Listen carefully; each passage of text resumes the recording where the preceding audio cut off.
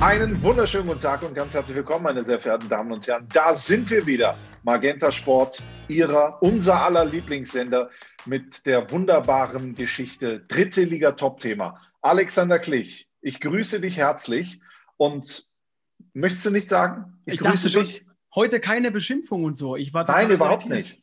Nein, ich freue mich, dich zu sehen und ich möchte dir gleich mal zu Beginn äh, mit auf den Weg geben.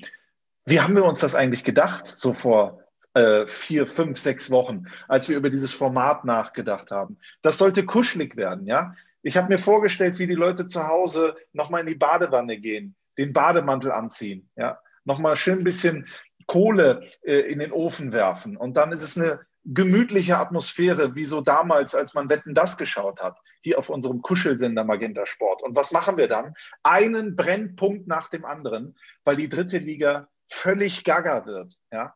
Was haben wir jetzt in den letzten Tagen gesehen, äh, mein lieber Klichomat? Wie viele Trainer äh, äh, sind gegangen worden?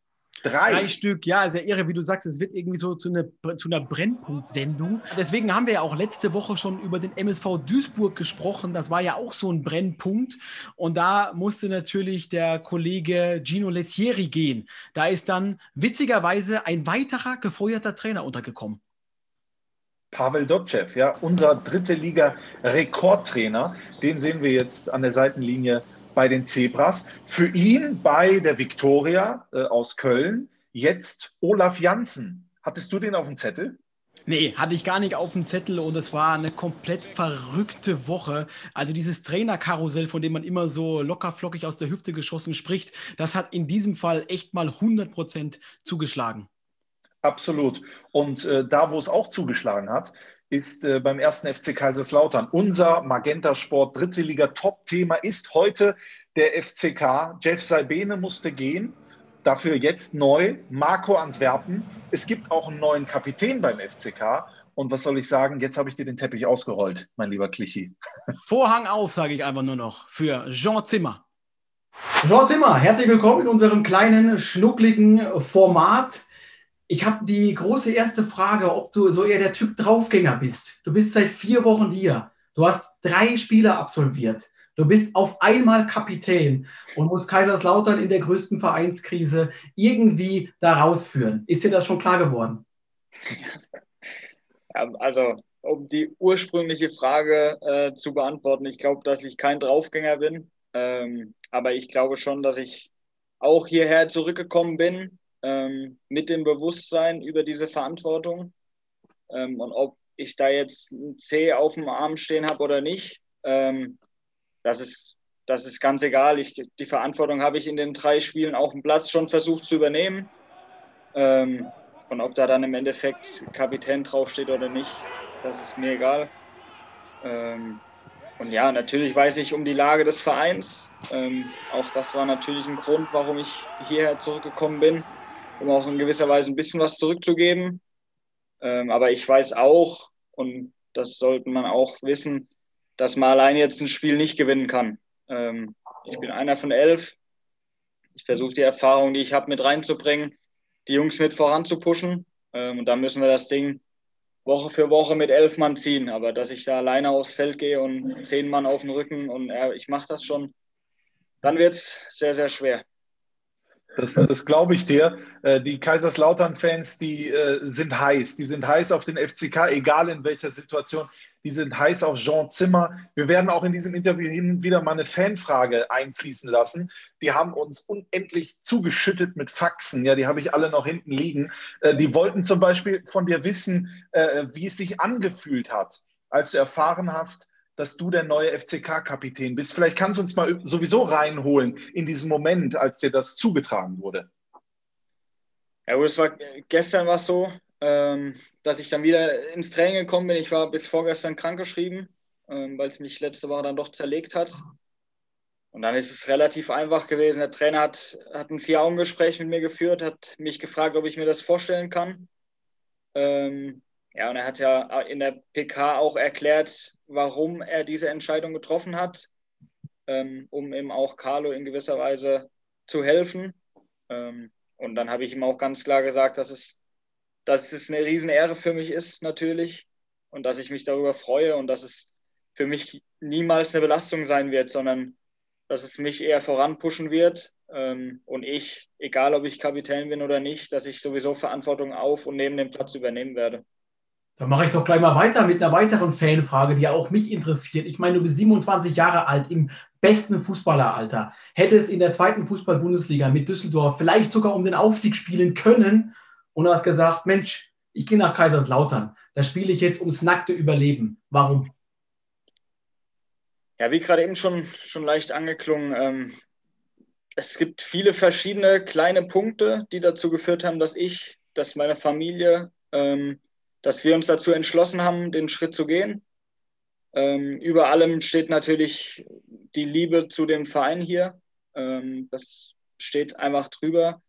Dann natürlich auch die Möglichkeit, dass meine Frau selbstständig ist, von zu Hause aus arbeitet, ähm, das mitmachen kann. Heißt, ich sehe meine Familie, ich kann meine Familie sehen, komme zu meiner Familie zurück nach Hause, ähm, sehe meine Eltern häufiger, die sehen ihr Enkelkind häufiger.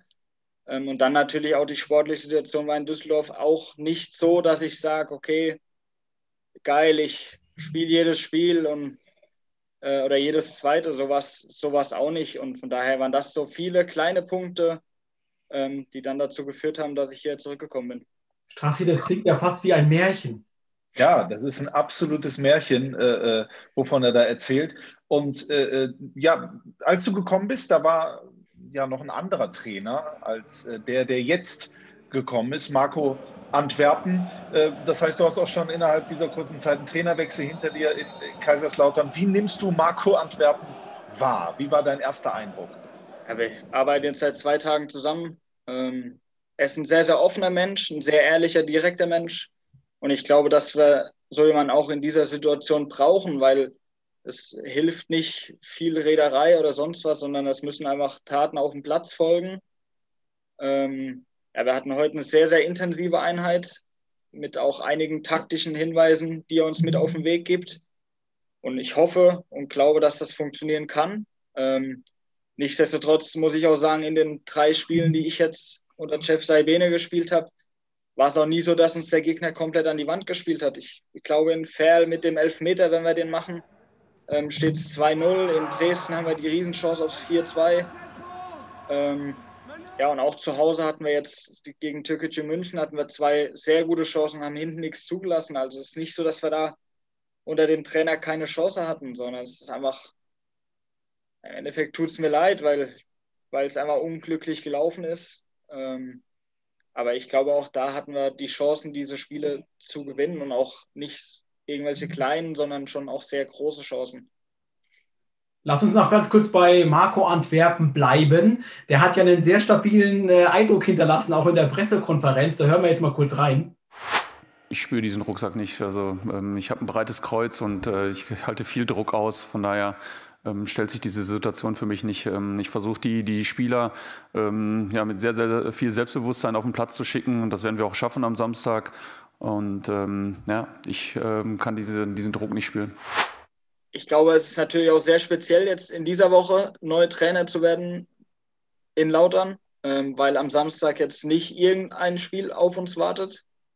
Ähm, von daher, also ich verspüre auch keinen Druck. Ich stehe da komplett hinter dieser Aussage. Ich glaube nicht, dass du vorankommst, wenn du groß Druck hast oder sonst was, sondern du musst Spaß wiederentwickeln.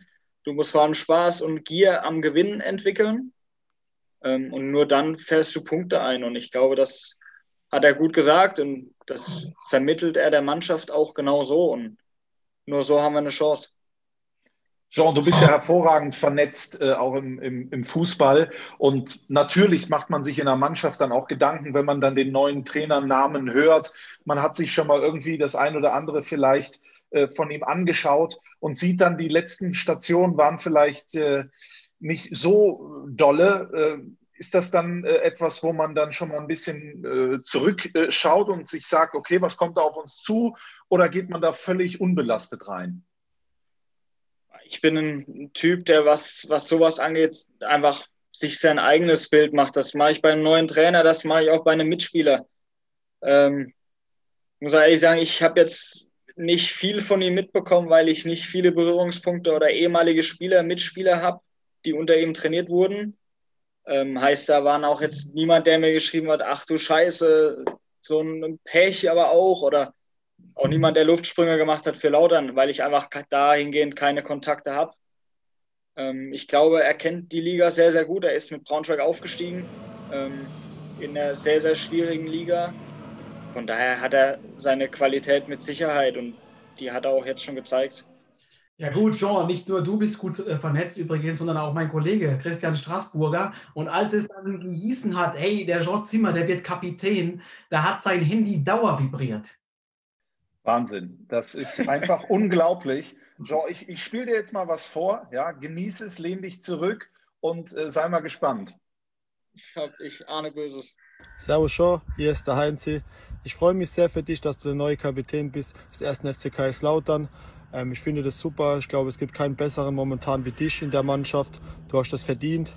Ähm, zeig, was du kannst. Geh mit Herzblut voraus, so wie du das immer machst. Ähm, die Fans lieben dich und deswegen weiß ich, dass du das alles auf den Platz bringst und ihr schafft das noch und ich bin davon überzeugt, ähm, dass ihr das in die richtige Richtung lenkt. Mit dir als Kapitän, du gehst vorne weg und wirst es super machen. Von daher liebe Grüße aus Freiburg. Macht's gut, euer Heinzi. Ciao, ciao. Der Heinzi. Es hört sich sehr, sehr gut an. Wie ist deine Verbindung zum äh, Kollegen Heinzi? Gut, natürlich. Also man hat regelmäßigen Kontakt. Es ist durch Social Media einfacher geworden, ähm, in Kontakt zu bleiben natürlich. Auch frisch Vater geworden.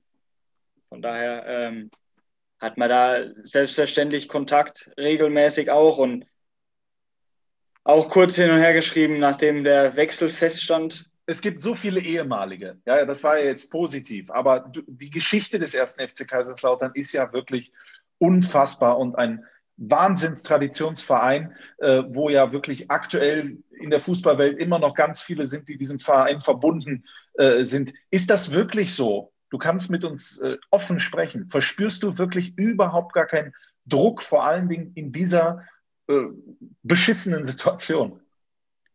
Nee, weil ich einfach glaube, dass, dass man durch Druck nicht vorwärts kommt. Also natürlich macht sich jeder Spieler in gewisser Weise seinen eigenen Druck. Da hat sich sein ganzes Leben lang einen gewissen Druck gemacht, um eben Ziele zu erreichen. Ähm, aber es ist nicht so, dass ich jetzt hier aktuell das Gefühl habe, okay, ich habe hier zwei richtig fette Brocken auf den Schultern und muss damit jeden Tag durch die Welt spazieren. Also so geht es mir nicht. Ähm, es, es, kam jetzt auch noch kein anderer Spieler auf mich zu, der gesagt hat, er hat Nackenprobleme, dem ich da helfen muss. Von daher, äh, ja, wie gesagt, ich kann nur von mir sprechen. Ähm, da ist es nicht so. Ja, ein weiterer Mann, der, man kann es nicht, man muss es nicht Drucknehmer nennen, aber der wirklich sehr, sehr viel zu tun hat, gerade beim FCK, ist natürlich der Beiratsvorsitzende Dr. Markus Merck. Und ich muss echt mal eine Lanze brechen, was der am Mittwoch in der Pressekonferenz wieder für eine Aufbruchstimmung erzeugt hat und wie der echt auch gerade ein breites Kreuz macht für den FCK, das hat mich persönlich tief beeindruckt.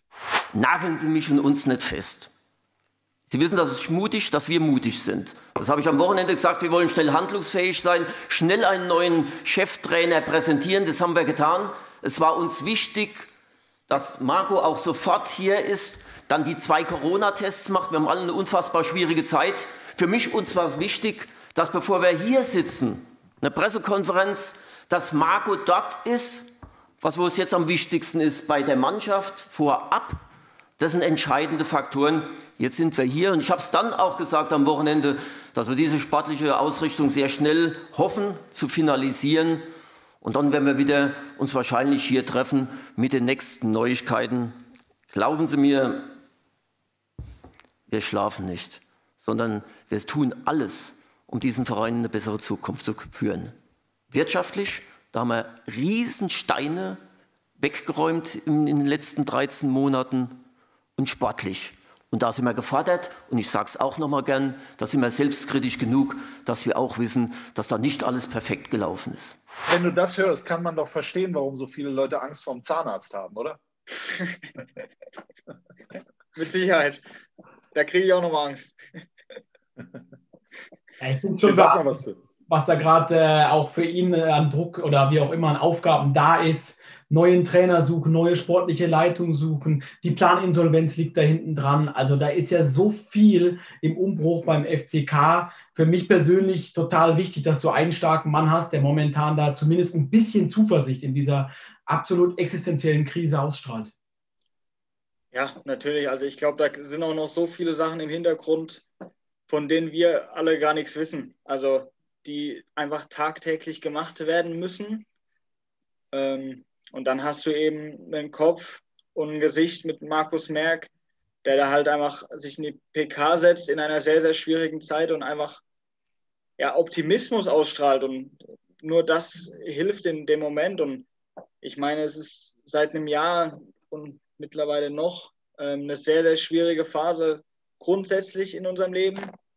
Ähm, und jeder, der erstmal FCK hält, hat vielleicht dann noch eine schwierigere Phase. Nicht so, dass das ja einfach jeder kommt hierher, schnürt seine Schuhe, kickt ein bisschen und fährt nach Hause. Also es, uns ist es auch nicht scheißegal.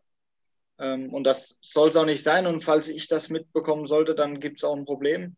Ähm, aber es ist auch nicht so, dass ich das Gefühl habe, es geht hier jeder mit gebeugtem Kopf rum ähm, und hat Angst davor, irgendwie einen Fehler zu machen im Training oder sonst was, weil ohne Mut Fußball spielen dann wird es sehr, sehr schwer.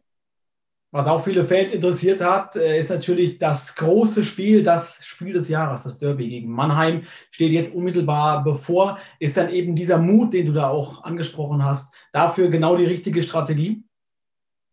Klar, also nicht nur für das Spiel, sondern ich glaube, den Mut sollten wir in jedes Spiel mitnehmen. Ich glaube nur, dass wir jetzt für einen Samstag eine gewisse Geilheit mitnehmen müssen, in dieses Spiel, um so ein Derby zu bestreiten, auch wenn eben keine Fans da sind. Aber ich weiß und bin fest davon überzeugt, dass so viele Zuschauer zu Hause sitzen und dem FCK die Daumen drücken und vorm Fernseher diverse Fingernägel knabbern, weil sie so drin sind im Spiel ähm, und sehr, sehr gerne natürlich dabei wären. Und ähm, das sollten wir mitnehmen, das sollten wir in unseren Hinterköpfen haben. Und wenn wir das machen und für den Verein, für die ganze Region spielen, ähm, dann wird uns niemals einer einen Vorwurf machen. Das Ganze übrigens dann am Samstag ab 13.45 Uhr bei deinem, bei unser allem Lieblingssender Magenta Sport. Ja, genau. Äh, Klick, das wollte ich nur mal eben unterbringen. Ne? Ein bisschen cross. Der Wahnsinn, das gibt sicher extra Gage, da bin ich mir ziemlich sicher. ähm, wir haben noch eine Zuschrift bekommen, würde ich das mal sagen. Klichi, meinst du, jetzt ist der richtige Zeitpunkt dafür? Wenn ich jetzt, wann dann? Bitte schön. Eben. Ähm, vielleicht erkennst du denjenigen. Wir, wir schauen mal. Hey Jean, liebe Grüße aus deiner alten Nachbarschaft. Ich hoffe, dir geht soweit gut und äh, ich wollte dir noch gratulieren zum Kapitänsamt in Kaiserslautern. Ist natürlich eine riesen Aufgabe, aber wenn ich es jemandem zutraue in der aktuellen Situation, dann dir.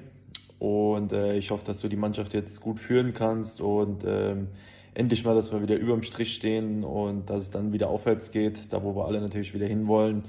Aber ich denke, du machst einen super Job jetzt. Mich freut es, dass du da jetzt den Weg nochmal zurückgefunden hast. Und ähm, klar, ohne Zuschauer ist natürlich nicht dasselbe. Aber ich glaube, dennoch ähm, hast du sehr viel Herzblut und äh, darüber freuen sich auch die ganzen Fans, dass du wieder zurückgekommen bist. Und ich drücke dir alle Daumen, auch für die nächsten Wochen, die natürlich äh, nicht einfach werden. Von daher gib Gas, Junge. Ähm, ich verfolge dich und drück dir die Daumen und natürlich auch der ganzen Mannschaft. Und ähm, ich wünsche dem FCK viel Erfolg und vor allem dir. Ciao. Der DFB-Pokal-Viertelfinalist, Tobias ja. Sippel. Ja, auch wieder, also sehr, sehr rührende Worte. Ähm, Tobi hat in, wohnt in Düsseldorf, in Wittler oder ist mittlerweile, glaube ich, umgezogen.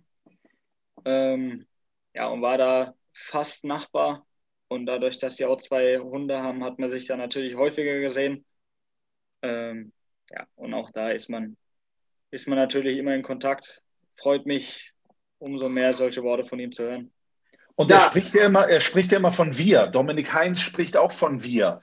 Du sprichst ja auch von wir. Du bist ein lauterer Bub.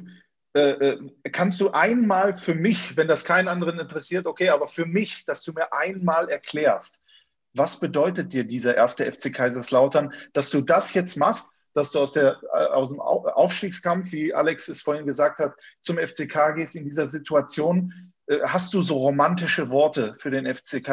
Wenn ja, dann bitte jetzt. Ich glaube, es ist sehr, sehr schwer in Worte zu fassen, ähm, was man empfindet, wenn man so sehr Fan von einem Verein ist.